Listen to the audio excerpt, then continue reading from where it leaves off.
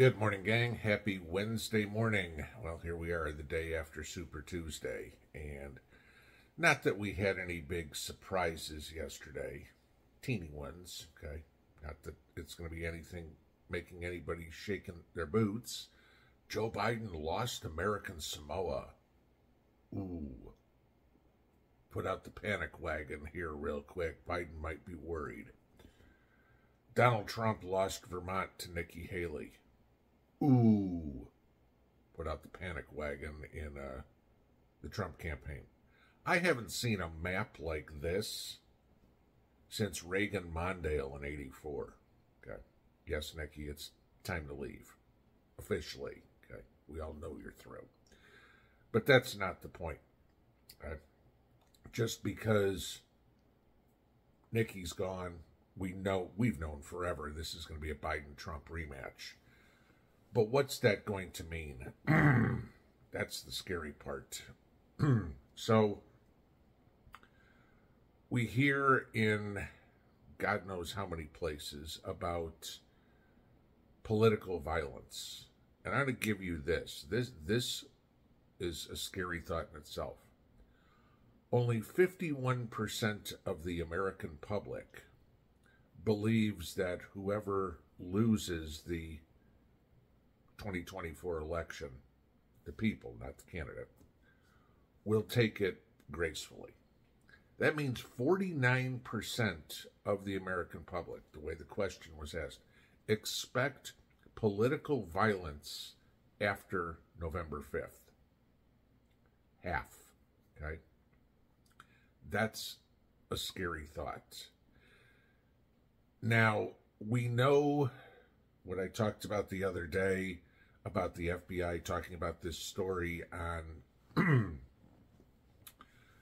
some Iranian assassin apparently is bound to, or is, I guess, expected to make some sort of attack on Trump administration personnel. Okay, that's kind of how they put it.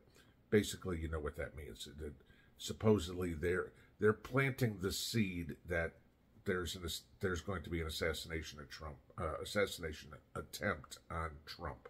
Okay. Yeah, let's see how that one flies out. Well, on the flip side, you couldn't have the liberals let Trump get that kind of press because stuff like that will make people support a candidate. You know, hell no, you're not killing my candidate. So, of course, we had yesterday the reports come out about experts warning Joe Biden that MAGA extremists were going to make attempts on Joe Biden. Okay. A gentleman by the name of Dr. Peter Simi, who is a Chapman University professor, and his claim to fame is he studies extremism on the far right. Okay. I'll give you this. Go figure. Chapman University is a private research college in California. Okay. Shouldn't have too many problems finding liberals there. Okay. But so where is this extremism going to come from? Sure, both sides are going to play. it. There, the other side's going to try to kill me. What the lawfare didn't work there, Biden.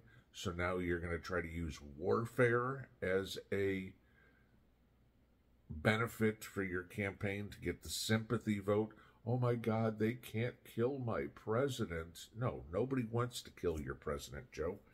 President, well, no, we want to kill your presidency. We don't want to kill you. Honestly, it wouldn't surprise me if the Grim Reaper came and got you before Christmas, okay? But without the hand of anybody else. But I want to remind somebody, okay? Violent crime, okay? As Peter Simi is talking about the mass shooting events and, you know, this is what to expect, that not only are they going to go against uh, the Biden administration and Biden himself, but they're going to go after lesser politicians, congressmen, senators, state representatives, governors, mayors. This is what he's saying, okay? That at the local level, those politicians, those Democrats, are in danger from the unhinged right wing MAGA extremists. Right? Okay. Let me go into something here real quick.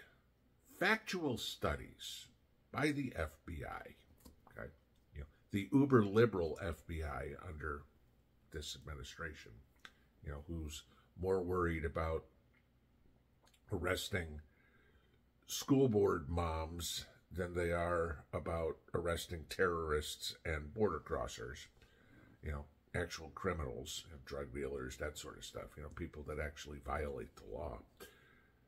The FBI has released a study that says, and I've talked about this before, of all the mass shootings in the United States in the 21st century, so at this point, that's almost a quarter of the way done, 24 to the 24th year of it.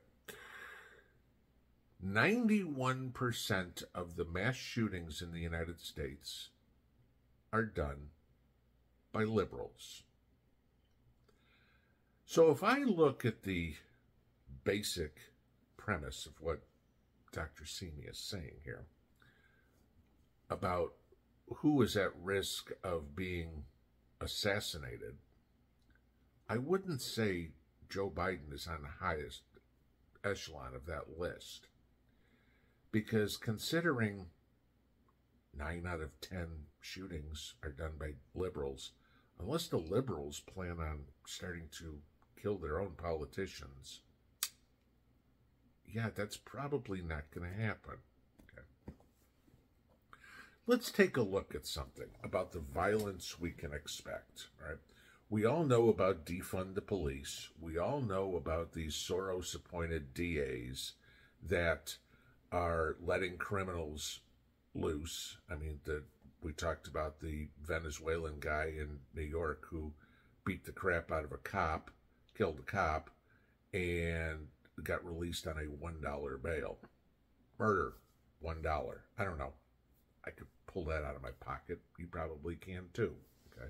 Gee, I'm out of jail. Killed a cop, but who cares? No, that's you know, used to be that was pretty much go directly to jail. Do not pass go. Do not collect two hundred dollars and make your appointment with your with your maker, uh, because you know you you and a gurney have a soon meeting. Not anymore. Okay. So we know what the law is going to do to these criminals. They're just going to turn the other cheek and go, eh, it was a cop. Who cares? You know, nah, it was a nursing student in Georgia who cares, right? Ah, it was a military veteran who was exercising her First Amendment rights on the square at Washington, D.C. Who cares? Okay. That's pretty much the liberal thought. But so let's take a look. Like I said, 91% of the mass shootings in the United States, liberals. California Department of Justice California, uber liberal California, defund, defund the police, this sort of stuff, right? Okay. The California Department of Justice estimates that there are as many as 300,000 gang members in California. Hmm. You think they have a propensity for violence? Yeah. Do you think they're out in Simi Valley sipping Chardonnay? No. They're in the inner cities, dealing drugs, and not worrying about the cops. Hmm. Who runs the cities again? Oh, yeah. Okay. Let's take a look at Chicago. You know, that great Midwestern city where I was born. You know, it ain't the city where I was born anymore. Okay. City of Chicago, their police department maintains two separate databases tracking gang members. Chicago, not all of Illinois, Chicago. The PD says there are 280,000 gang members in Chicago. There's 300 in all of California. There's 280 in Chicago. Want to talk about a war zone? Oh, yeah. Chicago also happens to be where the Democratic National Convention is going to be this year. Hmm. Anybody remember 1968? Think there's a chance that might happen again? Yeah, okay. Oh, but, you know, California, Chicago, you know. Well, let's take a look at my lovely state of Tennessee. We have Memphis. Lucky us, we have Memphis. Memphis is pretty much the opposite of everything else that is Tennessee. Crime is so bad in Memphis, Tennessee, that the mayor met with gang leaders. I mean, stop and think about that for a second. Obviously, they know who they are. Hi, this is the mayor's office. Do you have an appointment on Tuesday for 10 o'clock? We'd let, the mayor would like to meet with you. Oh, let me see. Uh, nope, sorry. We don't have any drug deals or murders scheduled that time. Sure, I can come meet with you. Okay.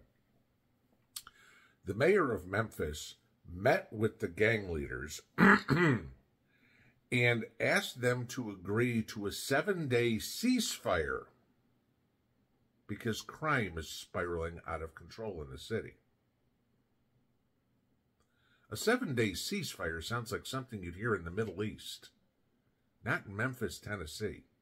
But is this waving the white flag? Please, we're begging you, don't kill our residents here for the next week. We, we need a break. Yeah, okay. Where do you think the violence is going to come from? Where do you think the violence already is? The cities are cesspools. You and I, who hopefully are out of the cities, have just what we have to wait for is these roving gangs of criminals to come out and say, well, we've sucked all the resources out of the city. It's now time to start moving out to the suburbs. Oh, we're already there because there's plenty of people in the burbs who like to buy our drugs. Oh, we need to move out into the rural areas. There's other drug dealers out there, but we're taking over their ter- territory. This is it. You look at the criminal element in this country, the ones who are literally willing to kill you, and think about which party they come from. You don't hear the stories about the huge gangs that are in Duluth, Minnesota, Okay. You hear the stories about the gangs in New York, the gangs in California, the gangs in Chicago, the gangs in Atlanta, the gangs in Boston, etc., etc. They all happen to be in blue areas. Why? Because the Democrats refuse to go after. We'll have a sit down with you. I mean, hey, I want to meet with all the gang gang members. Cool. They're all here. Guess what? Officers arrest every one of them, throw them in jail, throw away the key. There'd have been an idea. Yeah, the other guys might be pissed. They can go have a battle for who's going to take over, and you just keep arresting them. The hell with arresting them. You know, you just start eliminating them. Okay. That's what needs to happen. And I know that's like, oh my God, you're going to start a war in the city. They've already got a war going on in the city. The problem is only one side's fighting. They're calling for assassinations. The oh my God, Trump might get assassinated. Oh my God, Biden might get assassinated. Who's here working with the assassins, the killers, the known killers, and saying, hey, can you not do this? Right? You know, because diplomacy works so well with organized crime. This is what you need to get ready for this summer. I told you guys a week ago, it's going to get bad. It's going to get worse. And wait till the elections, if we have them, okay? Half of this country, 49% of it, expects political violence. How many of those 49% plan on committing political violence? And that's why they expect it. Will we see Antifa, BLM, pick an organization, Chaz, Chop, all that sort of crap? Will we see them burn down cities again? Mm-hmm. Probably. Come November, come Christmas time, we're going to have another story about another Kyle Rittenhouse. Okay. Some guy that was defending his house, defending his business, or whatever it is, by some unruly mob. and he's going to solve the problem. And of course, he'll be the criminal and the bad guys will be the victim. That's how effed up we are right now. I wish I had an answer, okay, where I don't I don't want to see a point in this country where we have to send the army, you know, the military out to patrol the streets. That's martial law. Okay. But we may wind up in that situation just to get rid of the crime that the liberals are stoking and committing and encouraging left and right. We've talked about kidnappings out of grocery store parking lots, Walmart parking lots. You've seen all the stories about carjackings and everything. Those aren't your prim, polite neighbors that are, hey, you know what? I think I'm going to go steal somebody's baby today and sell it in the, sex trade down in Mexico. No, these are the criminals. And nobody seems to be able to stop them. How they're going to get stopped, I have no idea. But all I can tell you this what's what we're doing now ain't working You know, it still amazes me why all these illegals come here. Sure, you got the cartels in Mexico who have no problem killing people. They're moving up here. They're, all these people are coming here not because they have a great chance to go get a job picking strawberries. They're coming here because they have a great job waiting for them to become the next mercenary where they can go kill, rape, loot, murder, and take their riches that way. That is what's going on. They can talk about assassinations all they want. Nobody's going to assassinate Trump. Nobody's going to assassinate Biden. Okay. It practically impossible to get close to him. Okay, to do it. The security is unbelievable. But to get you and me, that's their goal. Because remember, they want to get the population of the earth down to about 5 million people. Who cares if everybody kills each other, right? We'll just sit in our ivory towers and watch. Out.